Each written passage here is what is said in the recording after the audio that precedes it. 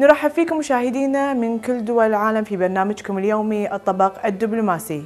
كما عودناكم في كل يوم جديد نلتقي في دبلوماسي من دولة الكويت الحبيبة. ضيف حلقتنا اليوم من جمهورية غيرت تاريخ العالم. شوفوا ضيف هذه الحلقة بعد هذا التقرير.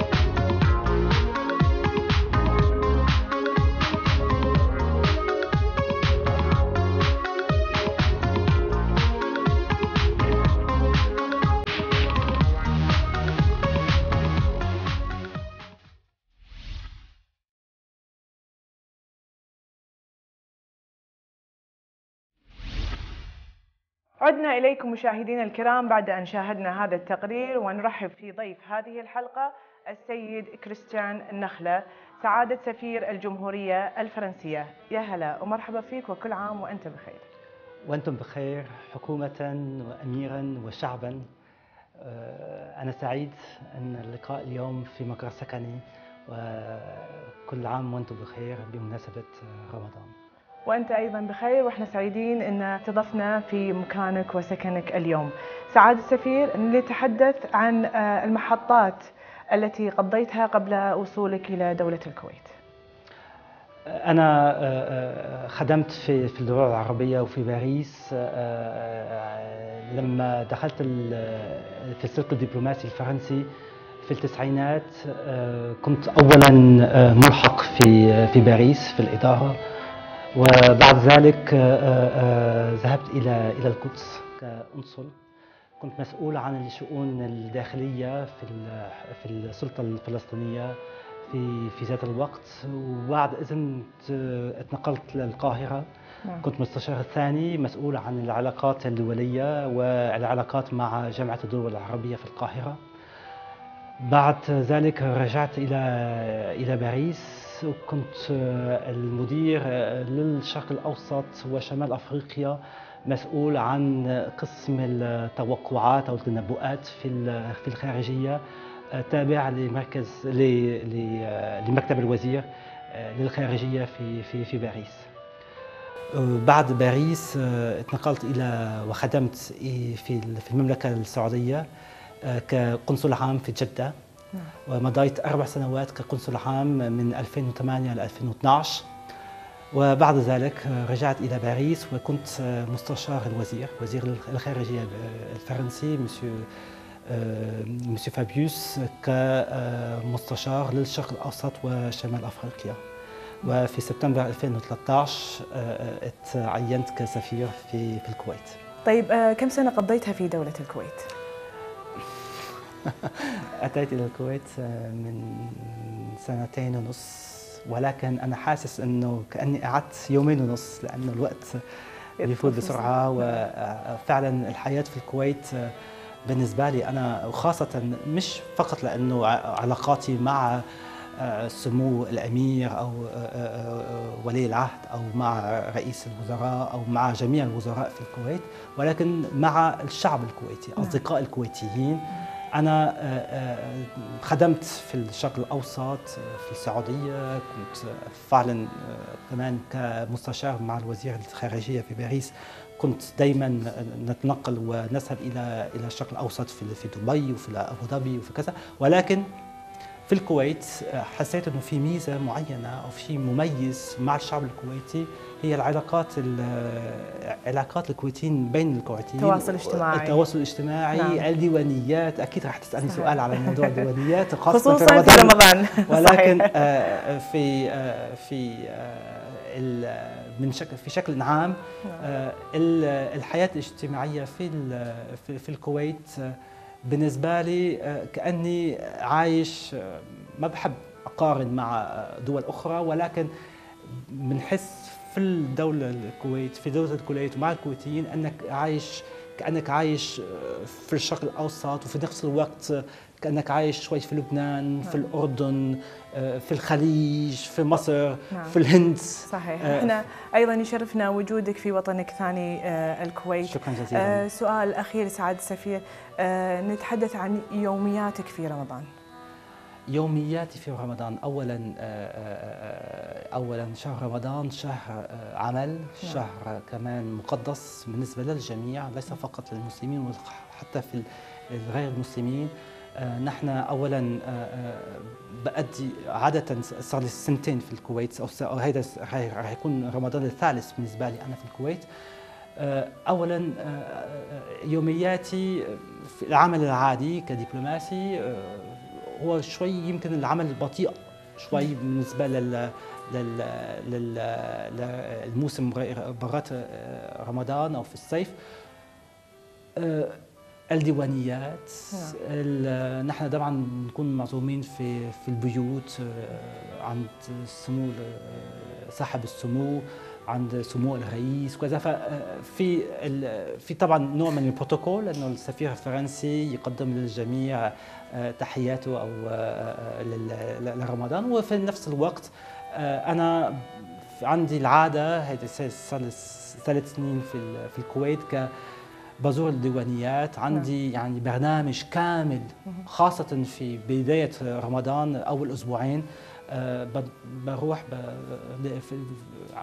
يعني يعني بقدر العمل لأنه صعب شوي لأنه صحيح. في عجل عجل سير وبعدين في ناس ما ما بقدر أشوفهم ولكن في نفس الوقت يعني عندي ست سبع ديوانيات خمس ست سبع ديوانيات يوميا. تلقي فيها التهاني. التهاني نعم. ولا ولا تبريكات في شهر الكريم تبريكات نعم. شكرا لك سعادة السفير شكراً لهذا لكم. آه، آه، اللقاء الشيق وهذا الحوار الطيب من عندكم. شكرا لك جزيلا. شكرا جزيلا. ومشاهدينا ننتقل معكم إلى الفقرة القادمة.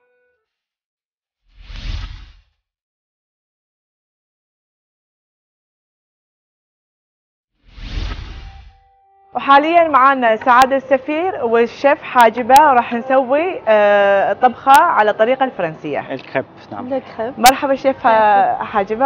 أهلا وسهلا. سعادة السفير. نعم. ممكن نقول حق مشاهدينا شنو قاعد نسوي حاليا؟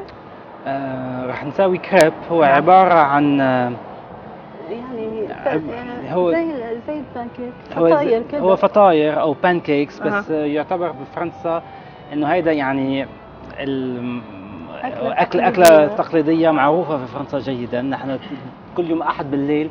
كنا عادة لما بكون بالبيت أنا بطبخ الكريب وبعمل الكريب بالبيت شيء جميل فالكريب عبارة عن عن حليب وحليب وقمح نعم وشوية زيت. وشوية بطر ويعتبر إنه هو لازم يكون عندنا رفيع.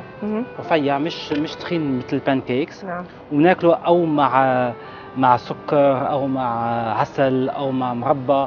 أو مع نوتيلا أو مع مع شجر مع سكر. آه، طيب آه، خلطتها إحنا نذكرها مرة ثانية إذا ممكن كانت من تكوينتها؟ أيوه. من البيض؟ آه. والدقيق في يعني لو بدنا يعني نعمل مثلا 250 جرام بتاع الدقيق نعم. نعمل معاها أربع بيضات. نعمل معاها نفس ال- ال- الكمية بتاع الحليب نعم يعني هي 200 جرام 250 جرام يعني تقريبا ربع لتر بتاع الحليب نعم مع سكر وشوية فانيلا وشوية يعني على حساب كل واحد بيحب الذوق اللي بي نعم بيت- يمشي معاه طيب إن نكمل الطبخه سعادة السفير ونشوف شنو عقب راح نسوي تكوينتها okay، تفضل. طيب على نار هادية تكون هذه الطبخة ولا هي على عندها ط... ال- يعني المقلب بتاعها زي ما بنقول special نعم بتكون آه، خ... شوية خاصة. خاصة, خاصة بها أها. آه عشان مش نفس ال... مش هي بالزيت ولا بشيء لأن كل شيء فيها آه okay so ما نستخدم معها ما أي نوع نستخدم ولا شيء لأن. الزبدة بتاعتها معاها وكل شيء بس هي بتستوي يا على الغاز يا على الكهرباء نفسنا. وبس أول ما بتلم هي بنفسها بتت بتفتح آه، تتشال يعني هاي نعم. بنفسها بتت... بت... يعني بتطلع. من ال- الطاسة نعم هيك. فيعني ما هذا هذا نوع من أنواع الزيوت اللي تستخدم معه ولا هي زبدة بس زبدة آه مش زبدة زبدة آه. عادية يعني زبدة زبدة عادية. أي نعم نفس ال ال زبدة وبيض. وسكر آه. وقمح آه. و... و sugar آه طيب سعاده السفير هاي تعتبر من ال- الحلو ولا شنو الحلو هذا؟ الحلو عادة الأطفال بتحب جدا الكريب لأنه الكريب سهلة الأكل وبعدين بتحط سكر بتحط نوتيلا. طبعا الأطفال بيحبوا النوتيلا بيحبوا السكر بحط ال- العسل نعم. وبتشربي مع مع الكريب أو شاي أو قهوة أو كوكا كولا أو مش كوكا كولا كاكاو كاكاو وبس هذا يعتبر عادة نفطر فيه في نعم. الصبح أو بعد الظهر بعد الساعة 4 5 مهم. لما الواحد بده شيء يحلي فيه فبياخذ كريب مع شوية سكر وبنبسط طب يعني هو تقريبا نفس ال pound cake صح؟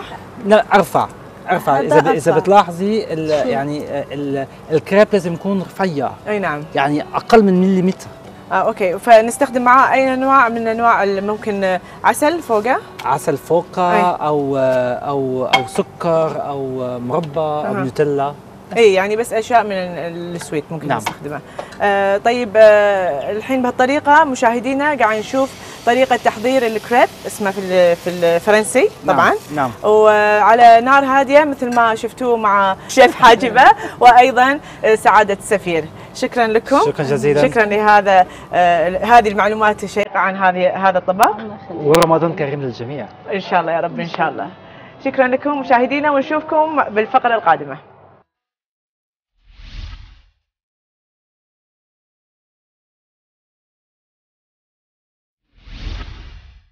يسعدنا مشاهدينا أن نكون حاليا مع سعادة السفير على المائدة الفرنسية وأيضا من موظفين السفارة الفرنسية.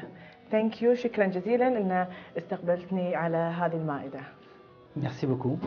سعادة السفير نتحدث عن كيفية الاستعدادات آه، للمائدة أو كيفية البروتوكول للمائدة الفرنسية. D'abord, euh, bienvenue de nouveau euh, à la résidence de France euh, au Koweït. Je suis très heureux d'être entouré de mes jeunes collaborateurs au sein de l'ambassade et pour nous, le service à table et le protocole à table est très important parce que tout est, doit être fait d'une certaine manière. La disposition des couteaux, des fourchettes, le menu tel qu'il est présenté, euh, il doit être rédigé en français. Euh, le, pain qui est placé à gauche, euh, les, euh, les, verres, le milieu de table, ça veut dire la décoration au milieu de la table doit également être appropriée. On ne met pas en France la nourriture au milieu de la table, il y a un service qui se fait. Et donc le service c'est le premier plat, ensuite c'est l'entrée en général, une entrée froide, une entrée chaude. Ensuite, c'est euh, le praf principal et euh, parfois on sert du fromage, mais maintenant de moins en moins parce que les repas sont devenus beaucoup plus légers. Et ensuite, il y a le dessert. Le service se fait, comme vous pouvez le voir, se fait euh, par le personnel qui doivent d'abord servir la personne qui est en face de moi ah. et les dames. Thank.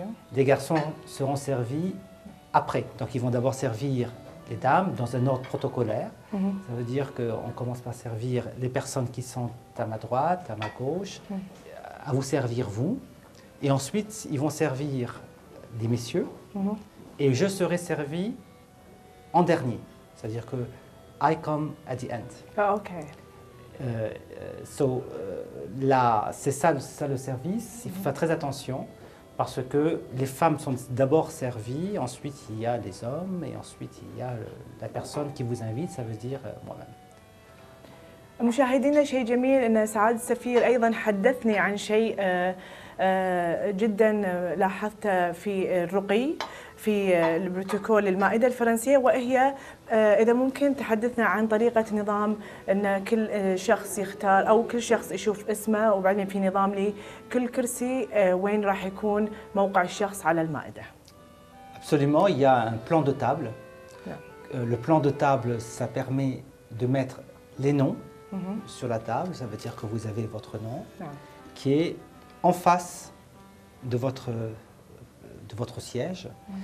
Et à l'entrée, lorsque vous vous installez, euh, il y a le plan de table où vous devez voir votre nom et vous décidez ensuite, euh, vous devez savoir où vous allez vous asseoir. Ce plan de table, c'est moi qui dois le faire. C'est moi qui le fais à l'ambassade et je dois signer parce que c'est ma responsabilité. C'est très important de savoir qui va être en face de moi, qui va être à ma droite, qui va être à ma gauche, qui va être, euh, qui va être euh, à votre droite, qui va être à votre gauche.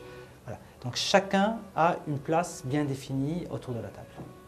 طيب سعادة السفير بما آه، حضرتك كنت متواجد مدة طويلة في دولة الكويت ولكن هي أيضا قصيرة بالنسبة لديكم ولكن لنعرف ما هو الطبق الكويتي المفضل لديكم آه، راح راح فاجئك أظن لأنه آه، اولا آه، بحب الأكل الكويتي وبحب الأكل بشكل عام نعم. ولكن اكلي الافضل اللي حبيته يوميا باكله هو من الدربيل نعم الدربيل معناها ال ال بتعرفوا الدربيل إيه نعم.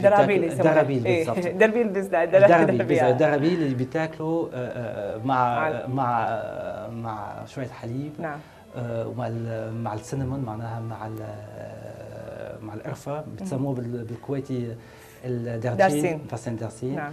فكل يوم باكل بعد الظهر مع شوية حليب. فهذا عادة لما بتحدث مع الناس بيقولوا مش معقول صار كويتي أكثر من الكويتيين. بالضبط صحيح. بس هذا الطبق المفضل لديكم في أطباق أخرى؟